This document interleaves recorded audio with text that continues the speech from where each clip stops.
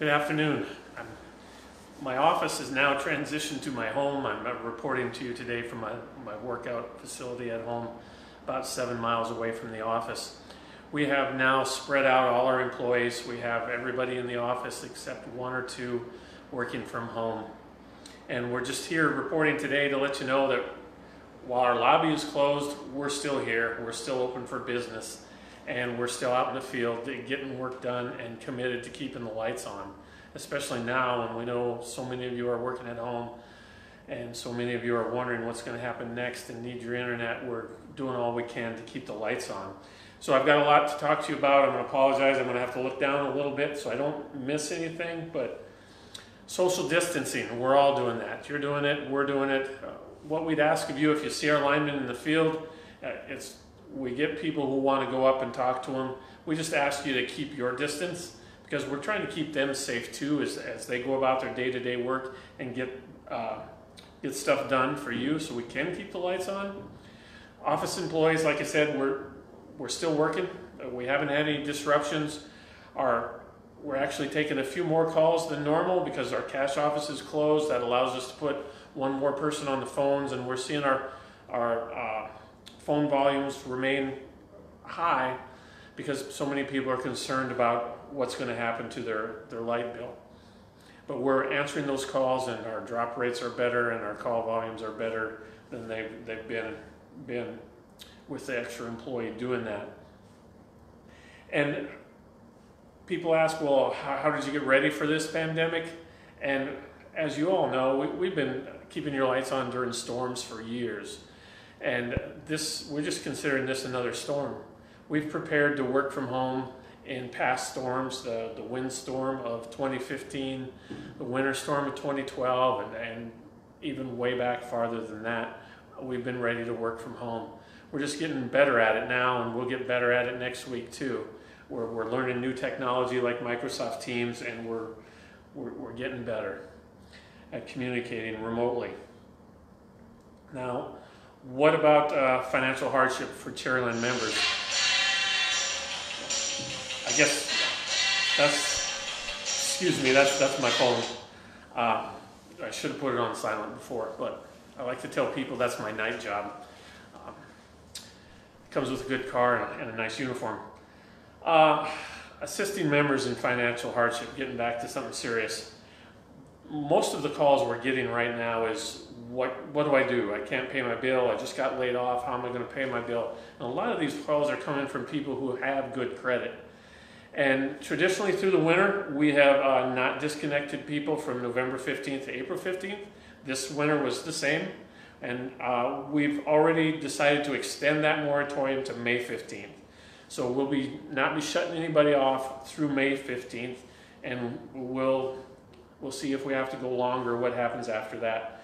But I would continue to monitor the situation and we're keeping an eye on the state information as far as help from DHS and the finance and the social services agencies. We're, we're providing help on a member by member basis. We're making arrangements. We're directing you to the proper agency for your situation. And uh, we're trying to stay up to date with that. Most of the state agencies are no longer offering in-person meetings. So you're going to have to reach out online or via phone. They just, for obvious reasons, aren't taking any in-person meetings uh, like we all aren't. Energy efficiency tips. You can monitor your usage on, on uh, Smart Hub on your iPhone. Uh, we can provide you some tips. I think we're going to put some of those out on Facebook or other places. Uh, you want to maximize your electricity use. This is obvious. Uh, don't wash a half a load of clothes or a half a load of dishes. Uh, do full loads. But if you have questions about how you can save money on your light bill, call our office, 486-9200, ask for Tammy, and we'll, if she's not there, she'll, she'll get back to you, and we can walk you through a lot of energy saving tips over the phone. What's the state government doing? They're extending uh, unemployment benefits. You've probably heard that.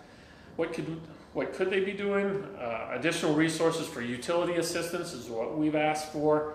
Uh, maybe lighten the requirements to qualify for utility assistance uh, to better serve those who are out of work. So we're, we're talking to the MPSC, our statewide organization is doing that, and we're trying to uncover every rock we can to try to free up some money for people who are gonna need it whenever this gets over. Uh, we're in election season. You can run for our board. Uh, the board candidate stuff is in our magazine on our website. But uh, if you're a candidate who has com- uh, completed a petition to run for the office, we need you to email it to Shannon, and those details are on our website. And we have to adhere to our bylaws, and we can't make an exception on the March 31 deadline. So if you've got a petition out there and you want to get it turned in, uh, do that sooner rather than later. Uh, we have other avenues to do that, or we can meet you at the office, outside the office, and, and take the application too. The annual meeting, the annual meeting is scheduled for June 11th. So far, we're adhering to that schedule and we're not canceling it, but we will contact you via email and postcard if those plans change. And again, uh, obviously, our number one priority is your safety and the safety of our employees. So uh, to wrap this up, we have a lot of contact options, phone, Facebook, uh, Smart Hub, text. Uh, we're going to do another Facebook Live next Friday, March 27th. I'll, I'll be here. Hopefully, I'll, I'll be, well, we know we're going to be here because the school is shut down. I was going to say I hope I'd be back in my office, but that's not going to happen next week. But just rest assured, we're going to keep the lights on. Whatever the weather brings, whatever the virus brings, we're here to keep your lights on. That's what we do. That's what we've always done. That's what we're good at. And we're, we're going to keep doing that. So we appreciate your patience and we just want everybody to uh, take a minute and, and thank the, who's ever helping you, whoever you've been able to help, first responders, EMTs, firemen, the people at the grocery store getting stressed out. Just be kind, be patient, and let's get through this all together. Thank you very much.